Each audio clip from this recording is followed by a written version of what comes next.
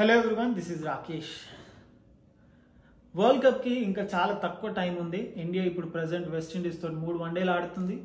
దాని తర్వాత ఏషియా కప్లో ఒక ఆరు ఆడొచ్చు మ్యాక్సిమం ఆ తర్వాత ఒక మూడు ఆస్ట్రేలియాతో ఆడుతుంది. ఎగ్జాక్ట్లీ వరల్డ్ కప్కి ముందు. అంటే మూడు ఆరు మూడు. మ్యాక్సిమం పన్నెండు ఆడే అవకాశం ఉంది. అండ్ ఈ పన్నెండు వన్ వన్ డేస్లల్లా ఇండియా కొన్ని క్వశ్చన్స్కి ఆన్సర్స్ దొరకబట్టుకునేందుకు ప్రయత్నించాలి. ఆ దిశగానే Indian team Indian management Indian coach Indian captain వీళ్ళంతా ప్రయత్నిస్తున్నారని మనం ఎక్స్పెక్ట్ చేస్తున్నాం ఎక్స్పెక్ట్ చేయాలి కూడా వాళ్ళు చేయాల్సింది కూడా అదే.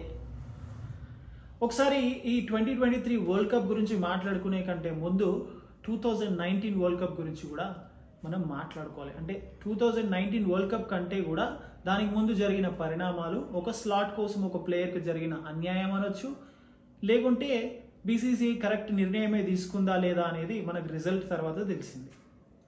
అండ్ ఇప్పుడు ఇక్కడ కూడా గత ఐదారు నెలల నుంచి వరల్డ్ కప్ కోసం టీమిండియాని రెడీ చేయాలి టీంలో ఉండాల్సిన ప్లేయర్లను రెడీ చేయాలి ఏ స్లాట్కి ఎవరు ఆడాలి అనేది రెడీ చేయాలి అనేది చాలా రోజుల నుంచి మనం వింటూనే ఉన్నాం. సో ఇప్పుడు మెల్లమెల్లగా టైం కాస్త దగ్గర పడి ఉండడంతో అటు బీసీసీఐ కావచ్చు కెప్టెన్ కావచ్చు కోచ్ కావచ్చు ప్లేయర్స్ కావచ్చు అందరికి కూడా ఎవరు ఉంటారు టీంలో ఎవరు ఉండరు టీంలో అనేది ఒక భయం భయం అనొచ్చు ఒక ఆందోళన అనొచ్చు లేకుంటే ఇంకేదైనా మనం అనొచ్చు. ఎందుకంటే కొంతమంది ప్లేయర్స్ ఖచ్చితంగా ఉంటారు. దానిలో ఒక ఇద్దరు ముగ్గురు ప్లేయర్స్ మనం కంపల్సరీ చెప్పొచ్చు ఉండే దాంట్లో రోహిత్ శర్మ విరాట్ కోహ్లీ వీళ్ళిద్దరు ఖచ్చితంగా ఉంటారు. రవీంద్ర జడేజా కూడా ఖచ్చితంగా ఉంటారు. వీళ్ళ ముగ్గురు మాత్రం హండ్రెడ్ పర్సెంట్ ఎట్టి పరిస్థితిలో హోప్ఫుల్లీ ఎలాంటి ఇంజురీస్ కాకుంటే వీళ్ళు ముగ్గురు ఉంటారు. అండ్ ఇప్పుడు మీరు ఆల్రెడీ తమ్నేల్ చూసుంటారు. సంజు శాంసన్ మరొక అంబటి తిరుపతి రాయుడు కాబోతుండా అంటే అట్లనే కనిపిస్తుంది పరిస్థితి చూస్తే. విరాట్ కోహ్లీ అంటే మీరు ఒకసారి టీంలో ఎవరెవరు ఉంటుంది అనేది మనం హైపోథెటికల్గా చూస్తే బ్యాటింగ్ ఆర్డర్ లాగా చూస్తే. రోహిత్ శర్మ శుభ్మన్ గిల్ విరాట్ కోహ్లీ ఇక్కడ వరకు పర్ఫెక్ట్గా ఉంది. అండ్ ఫోర్ ఫైవ్ పక్కన పెడదాం. ఆ తర్వాత హార్దిక్ పాండ్యా రవీంద్ర జడేజా. బట్ ఈ ఫోర్ ఫైవ్లో ఎవరిని ఫిల్ చేయాలి? దానికి ఆప్షన్స్ ఏమేమి ఉన్నాయి? శ్రేయస్ అయ్యర్ కేఎల్ రాహుల్ వీళ్ళిద్దరు కనుక ఇంజురీ కాకుంటే ఈ సమస్య వచ్చేది కాదు. వీళ్ళిద్దరు ఇంజురీ అయి ఉన్నారు. వీళ్ళు ఎప్పుడు టీంలోకి వస్తారో కూడా ఇంకా తెలియదు. ఏషియా కప్కి రెడీ అవుతారా లేదో కూడా తెలియదు. ఇంకా ఆప్షన్స్ ఏమున్నాయి? ఒకవేళ ఇన్ కేస్ వాళ్ళిద్దరు రెడీ కాకుండా పరిస్థితి ఏంది? సో అప్పుడు కనుక ఆప్షన్స్ చూస్తే మనకు కనిపించేది సంజు శాంసన్ సూర్యకుమార్ యాదవ్ అంటే ప్రస్తుతం టీంలో రెగ్యులర్గా కంటిన్యూ అవుతున్న ప్లేయర్స్లో చూస్తే సంజు శాంసన్ సూర్యకుమార్ యాదవ్ ఇషాన్ కిషన్ కూడా కన్సిడర్ చేయొచ్చు. శిఖర్ ధవన్ కూడా కన్సిడరేషన్లోకి తీసుకోవచ్చు. ఒకవేళ శుభ్మన్ గిల్ నెంబర్ త్రీలో కంటిన్యూ అవ్వాలని అనుకుంటే in case Shubman Gill and Rohit Sharma ఓపెనర్స్గా వచ్చినా కూడా శిఖర్ ధవన్ని నెంబర్ త్రీలో కంటిన్యూ చేయాలనుకుంటే చేయొచ్చు. ఎందుకంటే ట్వంటీ ఇలెవెన్ వరల్డ్ కప్ గురించి మళ్ళీ ఇక్కడ ఒకసారి తీసుకొచ్చుకోవాలి. ట్వంటీ లెవెన్లో వరల్డ్ కప్లో ఏమైంది? సచిన్ సేవాగ్ గంభీర్. సో ఆ పరిస్థితి కూడా మనకు ఓపెన్గానే కనిపిస్తుంది. సో అవన్నీ పక్కన పెడదాం. ఫోర్ అండ్ ఫైవ్ పొజిషన్కి మాట్లాడుతున్నాం. ట్వెల్వ్ వన్ డేస్ మాత్రమే ఉన్నాయి. ప్రిపరేషన్స్ స్టార్ట్ అయినాయి. సంజు శాంసన్ తన డెబ్యూ ఎప్పుడు చేసిండు? టూ థౌజండ్ ఫోర్టీన్లో టీంతో ట్రావెల్ అయిండు. ఇంగ్లాండ్కు ఆడే మ్యాచెస్ కోసం బట్ అక్కడ ప్లేస్ రాలేదు. ఆ తర్వాత వెయిట్ చేయాల్సి వచ్చింది. And then he has to go to Zimbabwe జింబాబ్వేతో అడిగి ఆడే మ్యాచ్లో అక్కడ కూడా అంబటి రాయుడు ఇంజురీ అయితే తనకి రిప్లేస్మెంట్గా వచ్చిండు. అక్కడ కూడా ఒక క్రూషియల్ నాక్ ఆడిండు ఆ మ్యాచ్లో స్టూవర్ట్ బిన్నీతో కలిపి. ఆ తర్వాత హీ హ్యాడ్ టు వెయిట్ మళ్ళీ టూ థౌజండ్ నైన్టీన్లో వచ్చింది టీంలోకి. So stop and pause stop and start stop లేదంటే start pause stop start stop అట్లా తన కెరియర్ కొనసాగింది. తన స్కిల్ విషయాన్ని గురించి మాట్లాడితే ఎక్స్ట్రీమ్లీ హైలీ టాలెంటెడ్ మంచి స్ట్రోక్ మేకర్ బిగ్ షాట్స్ ఆడగలడు అండ్ న్యాచురలీ లీడర్షిప్ క్వాలిటీస్ ఉన్నాయి. ఎందుకు ఇక్కడ లీడర్షిప్ క్వాలిటీస్ గురించి మాట్లాడుతున్నాం అంటే మీరు ఒక టీమ్ గేమ్లో ఆడుతున్నప్పుడు ఓన్లీ క్యాప్టెనే లీడర్ కాదు. Everybody by themselves to them is a leader ఇప్పుడు ప్రతిదీ క్యాప్టెన్ చెప్పలేడు. మీరు ఫీల్డింగ్లో చేస్తున్నప్పుడు లేదంటే కీపింగ్ చేస్తున్నప్పుడు బ్యాటర్ని గమనించి మీరు మూమెంట్స్ కూడా తీసుకోవాలి. So there you need leadership qualities so everybody is a leader అని చెప్పాలి. సో ఇక్కడ వెస్టిండీస్తో జరిగిన మ్యాచ్లో ఏమైంది? సరే టాస్ గెలిచింది. ఇండియా బౌలింగ్ తీసుకుంది. వెస్టిండీస్ని త్వరగా ఆల్అౌట్ చేసింది. And then Ishan Kishan and Shubman Gill ఓపెనర్గా వచ్చారు. మేబీ బహుశా యంగ్ ప్లేయర్స్కి ఛాన్స్ ఇద్దాం. కొత్త వాళ్ళకి ఛాన్స్ ఇద్దాం. కొత్త వాళ్ళకి ఇన్ ద సెన్స్ మనం ఎవరిని కన్సిడర్ చేయాలనుకుంటున్నామో వాళ్ళని ముందు పంపించి ఆడదాం అనే పరిస్థితి. సో ఇషాన్ కిషన్ ఓపెనర్గా పంపించాడు. ఆ లో స్కోరింగ్ గేమ్లో డెఫినెట్గా తనకి క్రెడిట్ ఇవ్వాలి. ఎక్స్ట్రీమ్లీ హై టాలెంటెడ్ ప్లేయరే కను మనకు కూడా తెలుసు.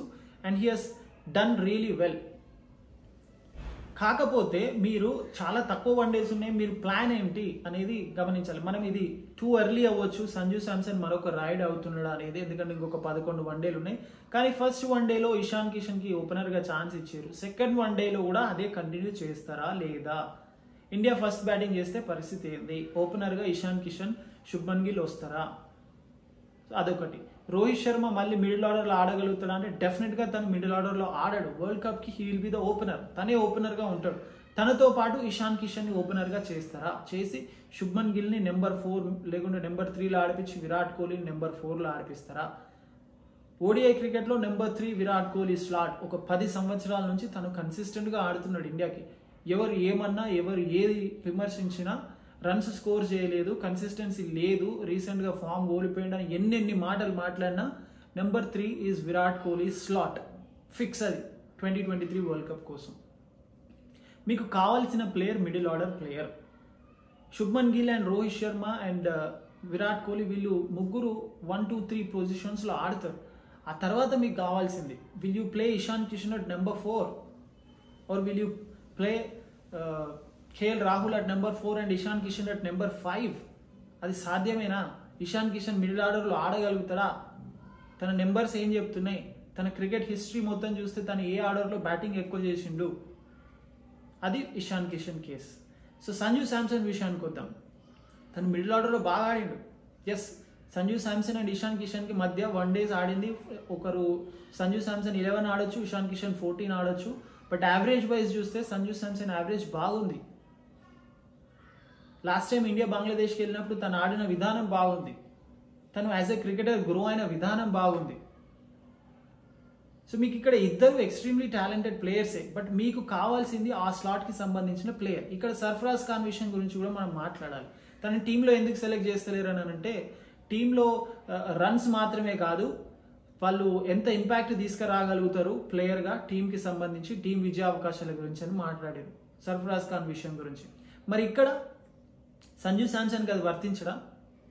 తను నెంబర్ ఫైవ్లో లేకుండా నెంబర్ ఫోర్లో సెట్ అవ్వడా? తన దగ్గర అంత టాలెంట్ లేదా? ఎంతమంది former player Sanju Samson talent గురించి ప్రేజ్ చేసారు ఎస్ తనకు ఒక విమర్శ ఒక ట్యాగ్ అంటించారు ఏమని?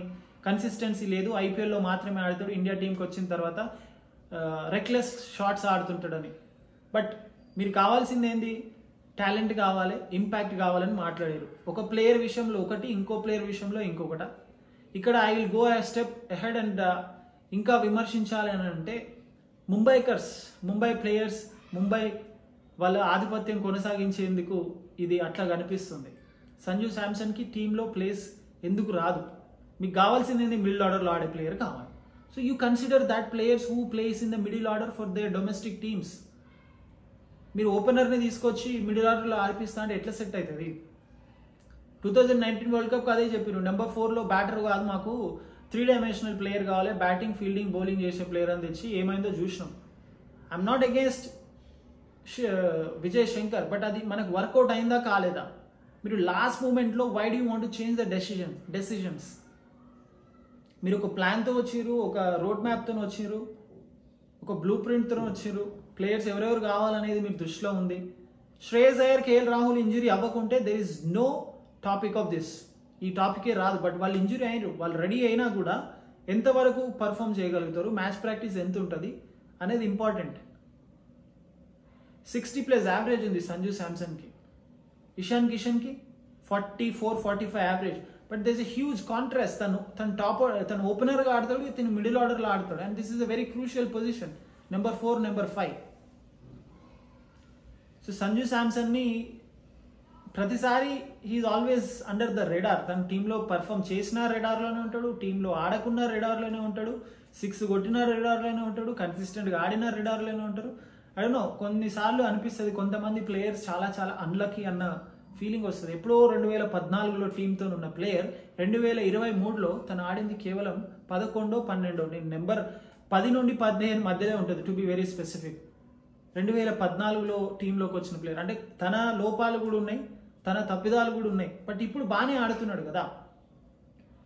తన మీద నమ్మకం లేకుండా ఒక ఫ్రాంచైజీ టీమే తన చేతుల్లో పెట్టారు. తను ఒక జూనియర్ ప్లేయర్ అంటే తనకంటే సీనియర్ ప్లేయర్స్ ఉన్నారు. అశ్విన్ ఉన్నాడు బట్లర్ ఉన్నారు. ఇలాంటి ప్లేయర్స్ ఉన్నప్పటికీ కూడా తన మీద నమ్మకంతో ఐపీఎల్ ఫ్రాంచైజీ తనకు రాజస్థాన్ రాయల్స్ తన captaincy అప్పచెప్పింది. And he he's done extremely well as well twenty twenty టూలో ఇన్ఫ్యాక్ట్ ఫైనల్ వరకు తీసుకొచ్చిండు కూడా.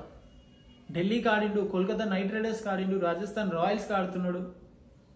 సో దేర్ ఈస్ సంథింగ్ దీనికి ఎట్లా ఆన్సర్ వస్తుందో ఎవరు ఆన్సర్ చేస్తారో ఇక్కడ నిజంగా అన్యాయం జరుగుతుందో జరగట్లేదో అనేది వాళ్ళకి తెలియాలి. కానీ మనకు చూసే వాళ్ళకైతే ఖచ్చితంగా సంజు శాంసన్కి అయితే అన్యాయం జరుగుతుందనే అనిపిస్తుంది.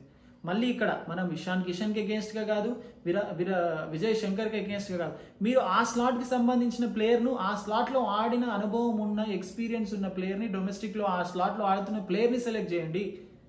Why do want bring the opener and play in the middle order లేకుంటే ఓపెనర్ కదా అని చెప్పి తనను ఓపెనర్గా తీసుకొచ్చి ఆల్రెడీ ఉన్న సెట్ని తీసేసి మళ్ళీ దాన్ని ఎందుకు రీఫష్ రీషఫిల్ చేయాల్సిన అవసరం ఏంది?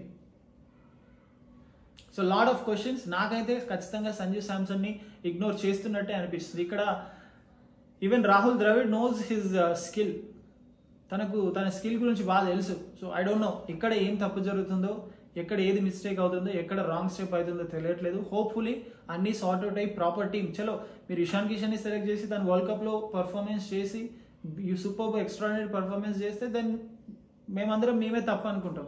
బట్ మనకు ఆల్రెడీ కనిపిస్తున్న లాగా చూస్తే Ishan Kishan will not suit in the middle order మీరు రోహిత్ శర్మని ఇషాన్ కిషన్ ఓపెనర్గా పెట్టి లెఫ్ట్ రైట్ కాంబినేషన్ కావాలనుకున్నప్పుడు శుభన్ గిల్ ప్లేస్ ఏమవుతుంది? Then again Shubman Gill have to sit అన్న విధంగా అనిపిస్తుంది. ఎందుకంటే Virat Kohli at number three is always very very important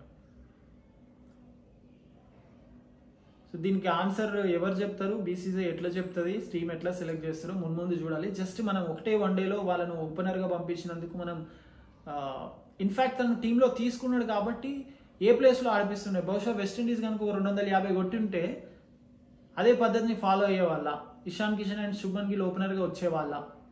so వీటన్నిటికీ ఆన్సర్స్ అట్లీస్ట్ సెకండ్ వన్డేలో అయినా మనకు తెలుస్తుంది.